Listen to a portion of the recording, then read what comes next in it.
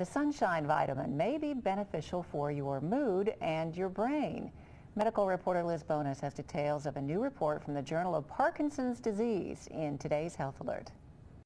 You've likely been told by your women's health provider to get plenty of vitamin D in your diet for a number of reasons, including strong bones. But this report found it may also be good for your brain. We stopped out at the Samaritan OBGYN, a practice of TriHealth, to tell you a little bit more about this research. Scientists found that vitamin D in the brain plays a very critical role. There are apparently receptors that can help improve brain function and mood. One study even found, however, that it may help reduce the risk of certain diseases related to our brain, such as Parkinson's disease.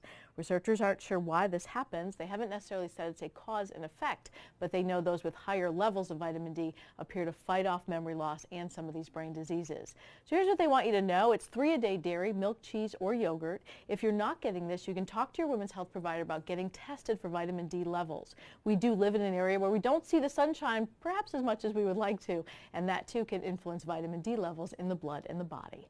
That is our health alert at Good Samaritan Hospital. Liz Bonis, Local 12 News.